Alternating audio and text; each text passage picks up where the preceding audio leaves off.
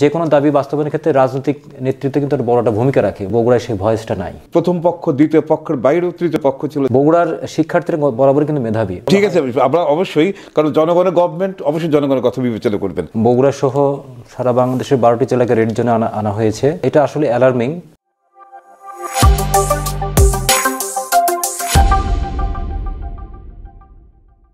সুপ্রিয় দর্শক শ্রোতা দৈনিক করতোয়া সাপ্তাহিক আয়োজন করতোয়ায় সাত দিন অনুষ্ঠান থেকে আপনাদের স্বাগত জানাই। প্রতিবারের মতো সাত দিনের দৈনিক করতোয়ার প্রথম এবং শেষের পৃষ্ঠায় প্রকাশিত বিশেষ বিশেষ সংবাদ নিয়ে পর্যালোচনামূলক যে অনুষ্ঠান সেই অনুষ্ঠানে আজকে অতিথি হিসেবে উপস্থিত রয়েছেন সমকালের বগুড়া বুড়ো প্রধান বিশিষ্ট সাংবাদিক জনাব মোহন আখন্দ। তাকে আমি ধন্যবাদ জানাচ্ছি। স্বাগত। আপনারা জানেন যে সারা গত কিছুদিন ধরে প্রতিদিনের সংবাদে যেটি প্রধান শিরোনাম হিসেবে আসছে সেটি হচ্ছে করোনা। করোনা সংক্রমণ এত বেশি দ্রুতভাবে বাড়ছে যে ইতিমধ্যে বগুড়া সহ দেশের বারোটি জেলা রেড জোনের মধ্যে, রেড জোনের আওতায় এসে পৌঁছেছে। গতকাল দৈনিক করতোয়ার প্রধান প্রধান শিরোনামই ছিল বারো জেলা রেড জোনে। আজকে আমরা মনে হয় যে এই আজ আলোচনা শুরুটা আমরা এই করোনা দিয়ে শুরু করব। আমার মনে হয় যে আপনি আপনার যেহেতু সংবাদকর্মী হিসেবে এই বিষয়গুলোকে অনেক গুরুত্ব দিয়ে প্রকাশ করার ব্যবস্থা করার অর্থাৎ আপনি সংবাদ লিখেন বগুড়া সহ আপনার উত্তরাঞ্চলের যে আপনার আওতা সেই আওতার ভিতর থেকে আপনি বলেন যে আমাদের বগুড়া এবং উত্তরাঞ্চলের এই করোনা পরিস্থিতি কেমন এবং গোটা বাংলাদেশে এই ব্যাপারে গভর্নমেন্টের যে অর্থাৎ নিয়ন্ত্রণের যে প্রচেষ্টা, সেটা কতটুকু কার্যকর এবং আমরা কতটুকু মানছি? ধন্যবাদ দাদা আপনাকে। আপনি ঠিকই বলেছেন বগুড়া সহ সারা বাংলাদেশের বারোটি জেলাকে রেড জোনে আনা আনা হয়েছে। করোনা সংক্রমণ পরিস্থিতি দেখে সরকার সিদ্ধান্ত নিয়েছে। আমরা যেটা দেখেছি, গতকাল পর্যন্ত বগুড়ায় কিন্তু সংক্রমণের হার প্রায় চল্লিশ শতাংশ ছিল। তো এটা আসলে অ্যালার্মিং এর আগে এই শতাংশ সংক্রমণের এই হারটা দেখেছি আমরা গত বছর জুলাই এবং আগস্টে। তবে একটা মানে মানে আশাবাদের খবর আছে যে গত বছর জুলাই এবং আগস্টে যখন এই এই হারে আক্রান্ত হয়েছিল তখন কিন্তু হাসপাতালগুলোতে প্রচুর রোগী ছিল। যেমন মোহাম্মদুল হাসপাতালে দুশো পঞ্চাশ শয্যার বিপরীতে রোগী ছিল দুশো ছিয়াত্তর জন। আর শহীদ জিয়া মেডিকেল কলেজ হাসপাতালে দুশো পঞ্চাশ শয্যার বিপরীতে রোগী ছিল দুশো ছত্রিশ জন। কিন্তু এইবার কিন্তু আহ, সংক্রমণের হার একই রকম থাকলেও রোগী কিন্তু হাসপাতালে অতটা নেই। মাত্র আটান্ন জন ছিল গতকাল পর্যন্ত। তবে আমরা যেটা মনে করছি যে টিকাকরণ, টিকাকরণে মোটামুটি মানুষের, বগুড়ার মানুষের একটু সাড়া দেওয়ায় এই সংক্রমণ বাড়লেও মানে গুরুতর অসুস্থতা কম এবং মৃত্যু নেই। আমরা গত বছর জুলাই এবং আগস্টে যেটা দেখেছি যে কোনো দিন সতেরো জন মারা গেছে, হয়তো দশজন করোনা পজিটিভ ছিল সাতজন মানে ইয়ে ছিল আপনার মানে সন্দেহজনক মানে পরীক্ষার বাইরে ছিল। আবার একদিন দেখা গেছে ছাব্বিশ জন মারা গেছে দোসরা আগস্ট ছাব্বিশ জন মারা গেছে। তার মধ্যে আপনার অধিকাংশই ছিল যে করোনা তারা টেস্ট করার সুযোগই পায় নাই। হ্যাঁ এইবার কিন্তু মৃত্যু নেই অনেকদিন থেকে বগুড়ার মৃত্যুটা নেই। এটা আমার মনে হয় যেটা টিকার একটা বড় একটা ভূমিকা আছে। এর পাশাপাশি গতকাল আমরা দেখছিলাম যে মার্কিন যুক্তরাষ্ট্রের যে প্রধান আপনার স্বাস্থ্য কর্মকর্তা ফাউসি, উনি কিন্তু বলেছেন যে, আশাবাদের কথা বলেছেন যে হয়তো অমিক্রণটা অতটা ভয়াবহ নাও হতে পারে, কিন্তু এখনও চূড়ান্ত পর্যায়ে কোনো সিদ্ধান্তে পৌঁছানো যাচ্ছে না। কেন? যেহেতু কেবল গবেষণা শুরু হয়েছে, তো সেক্ষেত্রে উনি জোর দিয়েছেন যে টিকাকরণ, মাস্ক পরিধান এবং হচ্ছে আপনার স্বাস্থ্যবিধি মেনে চলা। এবং বিশ্ব স্বাস্থ্য সংস্থার যিনি প্রধান, উনিই কিন্তু কালকে এই মেসেজটা দিয়েছেন যে, আমাদের এখনও এটা অব্যাহত রাখতে হবে এই তিনটা কর্মসূচি। এবং উনি বলেছেন যে অমিক্রণ যে দুর্বল, এটা বলার সময় এখনও আসে নাই। কেন? এখনও গবেষণার প্রাথমিক পর্যায়ে। না ঠিক আছে আমরা মানুষের ভিতরে যে কথাটা আসছে সেটা হচ্ছে যে অমিক্রণ ও- এ, ডেল্টা অন্যান্য করোনার মতো তো হয়তো মারাত্মক না এ ধরনের যে কথাটা আসছে আমরা সেই কথাটাই বিশ্বাস করতে চাই কারণ সংক্রমণের হার বাড়ছে এটা নিঃসন্দেহে একটা ভয়াবহ ব্যাপার কিন্তু সেই হিসাবে মৃত্যু হার এবং মানুষের যে দুর্ভোগ কষ্টের যে ব্যাপারটা সেটা আলোপাতিকের কম সেই জন্য আমি আমি এই বিশ্বাসটা রাখতে যাচ্ছি এবার আমার মনে হয় যে আমাদের এই সপ্তাহের শুরুতে আর একটি বড় আলোচনা বিষয় ছিল, সেটা হচ্ছে নারায়ণগঞ্জের সিটি কর্পোরেশনের নির্বাচন।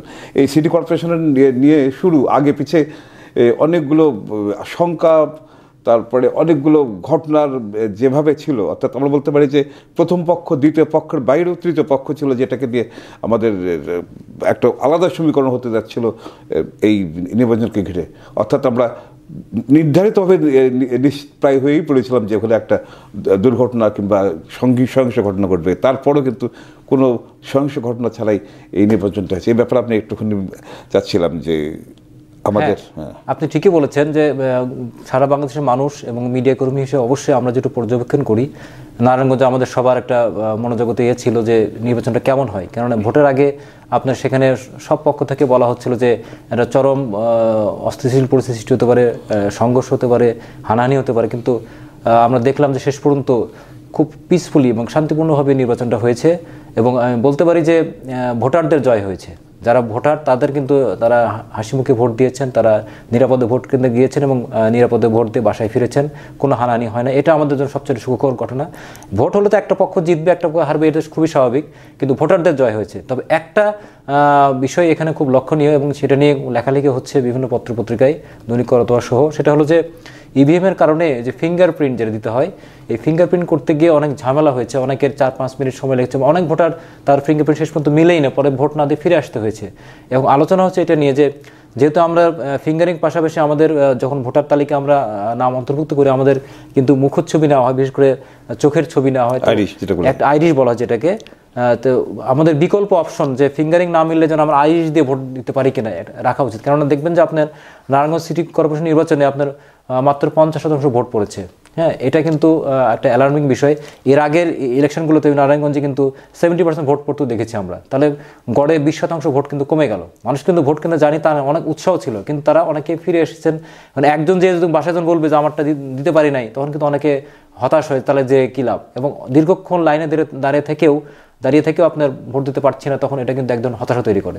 তো আমার মনে হয় যে ইসিকে এটা ভাবতে হবে এবং বিকল্প অপশন রাখতে হবে। না, ঠিক আছে আমরা এটা যেমন একটা ব্যাপার আছে আর একটা বিষয় হচ্ছে কি যে আমাদের মানে গত পাঁচ পেলে আমাদের ইউনিয়ন পরিষদ নির্বাচনের যে সহিংসতা দেখেছি, সেই সহিংসতাতে এই- আমাদের নারায়ণগঞ্জের নির্বাচনে সহিংস ঘটনা ঘটবে এটা কিন্তু আমাদের একটা মোটামুটি ধারণা ছিল যে হবে ঘটনা ঘটবে। কিন্তু এই যেহেতু আগামী বছরই আমাদের জাতীয় সংসদ নির্বাচন, সেই নির্বাচনের প্রাককালে এ ধরনের ঘটনা নিশ্চয়ই আমাদেরকে একটা আশাবাদী করে, তার থেকেও বেশি আশাবাদী করে যে আপনাদের নির্বাচনে জেতার পর যখন নির্বাচিত মেয়র, তৃতীয়বারের মতো নির্বাচিত মেয়র ডক্টর আইভি যখন গেলেন আমাদের যিনি বিজয়ী হতে পারেননি তৈমুর সাহেবের ওখানে যে যখন, অর্থাৎ মিষ্টি করানোর সময় উনি বললেন যে, আমি চাচার কাছে এসেছি। এই যে এই যে কালচার অর্থাৎ আমরা দীর্ঘদিন যাবত যে প্রত্যাশা করে আসছি এবং ছোটোবেলায় যে কালচারটা দেখে এসেছি, আমরা প্রত্যাশা করব যে আমাদের আগামী নির্বাচনেও যেন যারা প্রতিদ্বন্দ্বী প্রার্থী থাকবেন কারণ একজন জিতবেন, একজন হারবেন, এটাই স্বাভাবিক। সেখানে যেন তাদের ভিতরে এই সহনশীল মানসিকতা এবং এই যে কৃষ্টিটা, অর্থাৎ এই যে কালচারটা যেটা আমাদের আমাদের প্রত্যাশার যে কালচার সেটার জন্য খুঁজে পাই। আচ্ছা আরেকটা বিষয়টা হচ্ছে যে আমাদের দৈনিক করতার গতকালের পত্রিকা দেখেছেন যে বগুড়ায় বিশ বছরের মধ্যে দুইবার, অর্থাৎ আমাদের বিশ্ববিদ্যালয়ে প্রতিষ্ঠার জন্য আইন করা হলে পরেও সেটা আজ পর্যন্ত বাস্তবায়ন করা হয়নি। বরং বলতে পারি যে সেখানে আমাদের রিপোর্টের যেটা বলা হচ্ছে, সেটা হচ্ছে বরং স্থবির হয়ে আছে, অর্থাৎ এগিয়ে যাচ্ছে কথা বলতে পারছি না। এই ব্যাপারে আপনিও সংবাদ করেছেন, আপনার পত্রিকাতে। আমরা মনে হয় যে ব্যাপারটা আপনি অনেক বেশি তথ্য নিয়ে আপডেট অবস্থায় আছে আমাদের মনে হয় এই ব্যাপারটা একটু আমাদের দর্শক শ্রোতাদেরকে একটুখানি জানাতে পারেন। হ্যাঁ এই বিষয়টা খুবই দুঃখজনক। আমরা জানি যে দুই হাজার এক সালের জুলাই মাসে তৎকালীন আওয়ামী লীগ সরকারের সময়ে, শেষ সময় বলা যায়, একটা আইন পাশ হয়েছিল, বগুড়া বিজ্ঞান ও প্রযুক্তি বিশ্ববিদ্যালয় আইন। তখন আমরা আশাবাদী হয়েছিলাম যে হয়তো খুব সহসাই আহ, বগুড়া এই বিশ্ববিদ্যালয়ে স্থাপিত হবে কিন্তু তারপরে সরকার পরিবর্তন হলো কিন্তু আমরা এটা আর দেখি নাই। অনেকদিন পর দু হাজার নয় সালে যখন আওয়ামী লীগ সরকার আবার ক্ষমতা এলো তখন আমরা অনেক আশাবাদী হলাম এবং অনেকে বগুড়ায় বিশ্ববিদ্যালয় স্থাপনের জন্য এখানে দাবি জানাতে থাকল। তার প্রেক্ষিতে কিন্তু বর্তমান প্রধানমন্ত্রী বগুড়ায় উনি দুটো জনসভায় বগুড়া আলতাফনাসের খেলার মাঠে এবং শান্তাহারে হ্যাঁ এক বছরের ব্যবধানে উনি কিন্তু প্রতিশ্রুতি দিয়েছিলেন বগুড়ায় বিশ্ববিদ্যালয় হবে। প্রধানমন্ত্রী সেই প্রতিশ্রুতির প্রেক্ষিতে দুই হাজার কুড়ি সালে। বিশ সালের সাতাশ জানুয়ারি মন্ত্রিসভার মিটিংয়ে কিন্তু একটা খসড়া বিশ্ববিদ্যালয় আইনের একটা খসড়া নীতিগতভাবে অনুমোদন দেওয়া হয়। হয়েছে। তা আমি কিছুদিন আগে আমি বগুড়ার জেলা প্রশাসককে জিজ্ঞেস করেছিলাম যে এই খসড়া নীতিগত অনুমোদনের ক্ষেত্রে মানে কতটা সময় লাগতে পারে বা তারপরে পদক্ষেপটা কি? তো উনি আমাকে যেটা জানিয়েছিলেন যে এই খসড়া নীতিমালা অনুমোদনের ক্ষেত্রে একটা ভেটিংয়ের একটা বিষয় আছে মানে পর্যবেক্ষণ নিরীক্ষণের বিষয় আছে সেটা এখনও চূড়ান্ত হয়নি। হলে হয়তো তাদের পরে পরবর্তী পদক্ষেপ হিসেবে জমি অধিগ্রহণ বা এটা দিকে সরকার হাঁটবে। তো আমরা মনে করি যে যেটা আমরা জেনেছি যে বগুড়ার শিক্ষার্থীরা বরাবরই কিন্তু মেধাবী। আপনার এসএসসি বলেন ইন্টারমিডিয়েট ক্ষেত্রে বলেন যে দু হাজার পনেরো সাল পর্যন্ত কিন্তু বোর্ড সেরা প্রতিষ্ঠানের একটা তালিকা হতো সেখানে দেখা গেল বিশটার মধ্যে দশটা বারোটা কিন্তু বগুড়ার থাকতো। বগুড়া ছিল, জি। এসএসসি এবং ইন্টারমিডিয়েট ক্ষেত্রে। দু হাজার পনেরো সালে তো তালিকা হয় না কিন্তু জিপিএফ ফাইভ পাওয়ার ক্ষেত্রে এবং পাশের হারে কিন্তু রাষ্ট্রীয় বোর্ড বরাবরই কিন্তু বগুড়া এরা গত কয়েক বছর কন্টিনিউ এবং এমনকি করোনার মধ্যে কিন্তু বগুড়া সে ধারাটা অব্যাহত রেখেছে। সে এই এই রেকর্ডটা কিন্তু বার্তা এটাই দিচ্ছে আমাদেরকে বগুড়া কিন্তু বিশ্ববিদ্যালয় হওয়া জরুরি। আরেকটা বিষয় আছে যে যেসব জেলা ছোট জেলা মানে আগে মহকুমা ছিল সেরকম জেলাতে কিন্তু অনেক বিশ্ববিদ্যালয় হয়েছে যেমন পটুয়াখালী হয়েছে আপনার ছোট ছোট আহ, টাঙ্গাইল হয়েছে কুড়িগ্রামে কুড়িগ্রামে হচ্ছে কিন্তু আমাদের বগুড়া কিন্তু একটা বড় জেলা গুরুত্বপূর্ণ মানে সেই পুরোনো 17 জেলার এক সতেরো জেলার একটা তার মধ্যে বগুড়া কিন্তু এখনও বিশ্ববিদ্যালয় হয় নাই এটা হওয়াটা যৌক্তিক। তো আমি আশা করব যে গভর্নমেন্টের যে আগের বছর ইলেকশন আছে আপনি যেটা একটু আগে বলছিলেন আমার আমরা আশাবাদী যে ইলেকশন আগে হয়তো চূড়ান্ত কাজ শুরু হবে। না ঠিক আছে আমাদের এটা যেমন সবচেয়ে বড় দুর্ভাগ্য যে আমাদের এখানে রাজনৈতিক বিবেচনা অনেক কিছু ঘটনা ঘটে। আর আমাদের ওই রিপোর্টে আপনি যেটা বললেন জেলা প্রশাসকের যে বক্তব্য, সেটা হচ্ছে অফিসিয়াল বক্তব্য। বাট আনঅফিসিয়াল বক্তব্য যেখানে আমাদের করতোয়ার রিপোর্টে আসছে, সেটা হচ্ছে যে এসব ক্ষেত্রে আমলাদের, অর্থাৎ জেলা পর্যায়ের কিংবা বিভাগীয় পর্যায়ের আমলাদের কিন্তু একটা ক্ষমতা সীমিত থাকে। অর্থাৎ যেহেতু এটা মন্ত্রণালয় পর্যায়ে, আলোচনা পর্যালোচনা বিষয় থাকে, সেখানে কিন্তু এখানে জেলা প্রশাসকের বারে বারে যে বারে বারে তাগা দেওয়া দেওয়া হয়তো তাদের পক্ষে সম্ভব হয় না। এক্ষেত্রে যদি আমাদের আমাদের যারা সংসদ সদস্য আছেন কিংবা রাজনৈতিক নেতা যদি, যারা আছেন, তারা যদি একটু ধাক্কা দিতেন, তাদের যদি একটু মানে সেভাবে সক্রিয় উদ্যোগ থাকতো, তাহলে মনে হয় যে এই কাজটা অনেক বেশি এগিয়ে যেত। তার বড় প্রমাণ আপনি যে কথাটা বলেছেন, যে এর আগে আমাদের বগুড়া জেলা আওয়ামী লীগের সভাপতি যিনি ছিলেন আলহাজ মুমতাজউদ্দিন, উনি কিন্তু কয়েকটা দাবির পাশাপাশি এই দাবিটা নিয়ে কিন্তু রোড মাস বন্ধ করেছিলেন। তার পরিপ্রেক্ষিতে কিন্তু প্রধানমন্ত্রী কিন্তু বগুড়াতে দুই জনসভায় এই ঘোষণাটা হয়তোবা দিতে বাধ্য হয়েছেন অথবা দিয়েছেন। তার দলের নেতার দাবির পরিপ্রেক্ষিতে হোক, আমাদের জন, জনদাবির পরিপ্রেক্ষিতে হোক। কিন্তু আজকে এই যে উনিশশো দুই সালে মারা যাওয়ার পর আসলে রাজনৈতিক দল থেকে যে উদ্যোগ যেভাবে থাকা উচিত সেই জিনিসটা আমরা দেখতে পাচ্ছি না। আমি এক্ষেত্রে একটা আপনি শেয়ার করতে চাই। আপনি ঠিকই বলেছেন আমি কথাগুলো বলতে চাচ্ছিলাম না আনঅফিসিয়ালি যেটা বলা হয়েছিল। আমাকেও বলা হয়েছিল এটা যে যে কোনো দাবি বাস্তবায়নের ক্ষেত্রে রাজনৈতিক নেতৃত্ব কিন্তু একটা বড় একটা ভূমিকা রাখে। বগুড়ায় কিন্তু সেই এর আগে আমাকে এর আগের জেলা প্রশাসক কিন্তু আমাকে বলেছেন বারবার যে বগুড়ায় সেই ভয়েসটা নাই। কারেক্ট হ্যাঁ এর আগে ছিলেন মান্নান ভাই আব্দুল মান্নান বগুড়া একাশন এমপি উনি কিন্তু মোটামুটি একটা ভয়েস ছিল হ্যাঁ কথা বলতে পারেন উনি ওনার মৃত্যুবরণের পর কিন্তু বগুড়ার সেই ভয়েসটা আমরা দেখি না। তো এটা অবশ্যই যে কোনো বড় প্রকল্প বাস্তবায়নের ক্ষেত্রে পলিটিক্যাল একটা মুভমেন্ট থাকা উচিত বগুড়ায় সেটা নাই। এবং আমার মনে করি যে এটা যারা শাসক দল আছেন আওয়ামী লীগ এটা তারা ভেবে দেখবে। অবশ্যই ভাবতে হবে তা না কারণ তাদের কিন্তু জবাবদিহিতার সময় আসতেছে আগামী বছরই। আচ্ছা আমাদের এখানে আরেকটা ভালো খবর সেটা হচ্ছে যে আমাদের জাতীয়ভাবেই বলি কারণ আমরা যেহেতু পদ্মা সেতু এই বছর পাচ্ছি অনেক মেট্রো রেল সহ অনেক কিছুই। তার পাশাপাশি আমাদের যেটা আশঙ্কা ছিল যে হয়তোবা জ্বালানি তেল এবং গ্যাসের দাম বাড়বে, এই ধরনের গত বছরের গোড়া শেষের দিকে এসে আমরা এই ধরনের আভাস পেয়েছিলাম। তবে সর্বশেষ যে ঘোষণাটা আসছে সেটা হচ্ছে, আপাতত ভোজ্য তেল ও গ্যাসের দাম বাড়ছে না। এটা কিন্তু আমাদের জন্য একটা ভালো খবর। মনে হয় যে, এ ব্যাপারে আপনার যে, আপনি নিজেও যেহেতু একজন ভোক্তা, সেই ভোক্তা হিসেবে যে আতঙ্ক ছিল এখন সেই আতঙ্কটা নিশ্চয়ই কাটছে। এ ব্যাপারে আপনার ছোট্ট একটা অনুভূতি চাচ্ছিলাম। অবশ্যই দাদা আমাদের তো শঙ্কিত করে তোলে যে কোনো জিনিসের দাম বৃদ্ধির খবর। তো আসল স্বস্তিতা খবর করতে যেটা ছাপা হয়েছে আজকে, যে আপাতত ভোজ্য তেলের দাম এবং গ্যাসের দাম বাড়ছে না। তো আপনি জানেন যে যে কোনো পলিটিক্যাল গভর্নমেন্ট যখন ইলেকশন আগে আগে কিন্তু কোনো কিছু জনগণ ক্ষুব্ধ হবে জনগণ কষ্ট পাবে সেই ধরনের কিছু সিদ্ধান্ত নিতে চায় না। আমার মনে হয় যে এটা একটা ভোটের একটা যেহেতু আগামী বছর ভোট সেই জন্য গভর্নমেন্ট হতে যদিও বিভিন্ন প্রতিষ্ঠানের পক্ষ থেকে সরকারের যে নিয়ন্ত্রণ প্রতিষ্ঠানের পক্ষ থেকে সুপারিশ করা হয়েছে দাম বৃদ্ধির কিন্তু গভর্নমেন্ট মানে সেই পথে হাঁটবেন না। হাঁটবেন না। সামনে যেহেতু ভোট আছে ঠিক আছে আমরা অবশ্যই কারণ জনগণের গভর্নমেন্ট অবশ্যই জনগণের কথা বিবেচনা করবেন। আমাদের সর্বশেষ যে দুটি খবর আছে সেই খবরটি হচ্ছে গত পনেরো তারিখের পত্রিকায় ব্যাক পেজে দুটি ভালো খবর ছাপা হয়েছে। যেটা আজকে আমরা আলোচনা শেষ করব, সেটা হচ্ছে বঙ্গবন্ধু দুই স্যাটেলাইট তৈরির প্রস্তাব থেলাসির আচ্ছা আমরা বঙ্গবন্ধু, অর্থাৎ স্যাটেলাইট যুগে প্রবেশ করার পর খুব অল্প দিনের ভিতরে দ্বিতীয় মানে স্যাটেলাইট তৈরির বা যে প্রস্তাবটা যেটা আসছে এবং যে আমাদের, এই ব্যাপারে আপনি একটা ছোট্ট একটা মন্তব্য দেবেন, তার সঙ্গে আরেকটা আছে, সেটা হচ্ছে যে দুই হাজার ছাব্বিশ সালে দেড় ট্রিলিয়ন ডলারের বাইল ফলক স্পর্শ করবে বাংলাদেশ। অর্থাৎ আমাদের মজুতের যে অর্থের যে পরিমাণ সেটাও কিন্তু আমাদের মানে বিশাল বিশাল, যেটা হচ্ছে আমরা কল্পনাতীত। সেই ব্যাপারে, এই দুটো বিষয়ে আলোচনার মাধ্যমে আমাদের আজকে আলোচনাটা শেষ করব। ধন্যবাদ আপনাকে। হ্যাঁ আমি দেখেছি করতর খবরটা, বঙ্গবন্ধু দুই স্যাটেলাইট যে খবরটা বলা হয়েছে। আমরা জানি যে বঙ্গবন্ধু এক স্যাটেলাইট আমরা উৎ- উৎক্ষেপণ করা হয়েছে। অনেক উৎসাহ উদ্দীপনা নিয়ে আমরা আগ্রহী ছিলাম যে কবে স্যাটেলাইট হয় উৎক্ষেপণ হয়, এবং সেটা হয়েছে। এবং যার সুফল কিন্তু বাংলাদেশের যে টেলিভিশন চ্যানেলগুলো তারা কিন্তু পাচ্ছে এবং প্রচুর প্রচুর যে আমাদের ভাড়া দিতে হতো আগে বাইরের প্রতিষ্ঠানগুলোতে সে অনেক টাকা আমাদের দেশ থেকে চলে যেত কিন্তু এখন যাচ্ছে না আমাদের দেশে থেকে যাচ্ছে। এবং আমরা কিন্তু ভাড়াও দিচ্ছি। ভাড়াও দিচ্ছি। এখন এই বঙ্গবন্ধু দুই স্যাটেলাইট আমি খবরটা পড়ছিলাম এখানে এসে। বঙ্গবন্ধু দুই স্যাটেলাইটের কাজ হবে মূলত যেটা আমরা খবরের ভিতরে দেখলাম যে সমুদ্রের যে সম্পদ এইটা নিয়ে তারা গবেষণা হবে এবং এটা খুবই ভালো একটা উদ্যোগ।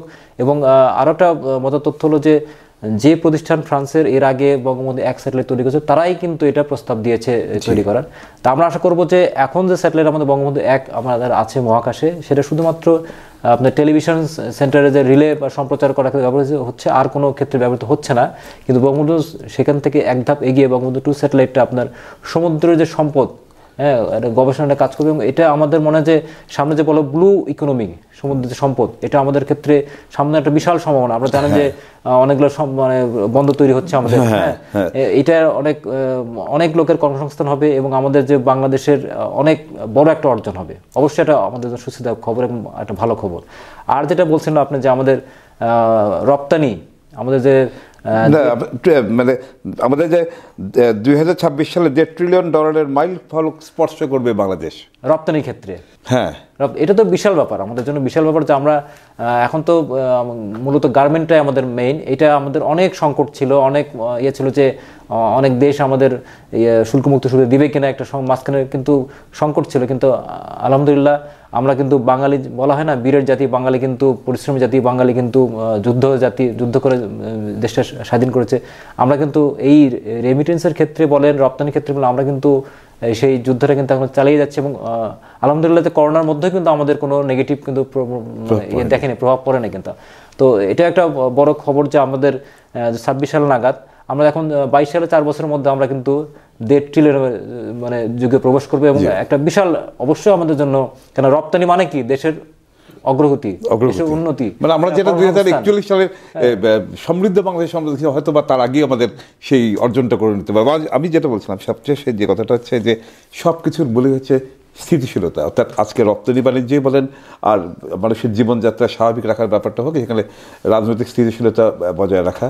একইভাবে আইন শৃঙ্খলা ঠিকভাবে বজায় রাখার ব্যাপারটা। আজকে আমরা মনে করছি যে গভর্নমেন্টের পক্ষ থেকে, অর্থাৎ গভর্নমেন্টের সংশ্লিষ্ট ডিপার্টমেন্টের পক্ষ থেকে জঙ্গিবাদকে যেভাবে দমিয়ে রাখা হয়েছে এবং তাদের বিভিন্ন কার্য করা- কার্যক্রমকে তাৎক্ষণিকভাবে ডিটেক্ট করে অ্যাকশন নেওয়া হচ্ছে সেখানে আমার মনে হয় যে ওই অংশটুকু হয়তো বা সেভাবে বাধা ছাড়া দিতে পারবে না। তারপরও যে বিষয়টা হচ্ছে রাজনৈতিক ফ্র্যাঙ্কেনস্টাইন যারা আছে তাদেরকে যদি দমানো না যায়, তাহলে কিন্তু আসলে আমাদের স্থিতিশীল রাজনৈতিক অবস্থা ফিরবে না। আমাদের প্রত্যাশিত, অর্থাৎ আমরা যে কাঙ্ক্ষিত যে উন্নয়ন, সেটা কিন্তু আমাদের এগিয়ে অর্থাৎ আমরা দৃশ্যমান হয়তো উন্নয়ন দেখতে পাবো, কিন্তু সামাজিক স্থিতিশীলতা শান্তির জন্য না থাকে সেই মানে উন্নয়নটা কিন্তু আমাদের কোনো কাজে লাগবে না। তাই আজকে আর কোনো কথা না বেরিয়ে আপনাকে ধন্যবাদ জানাচ্ছি। একই সঙ্গে আমাদের দর্শক শ্রোতা যাদের, যারা আছেন তাদেরকেও ধন্যবাদ জানিয়ে আজকের মতো এই অনুষ্ঠানের সমাপ্তি ঘোষণা করছি। ধন্যবাদ সকলকে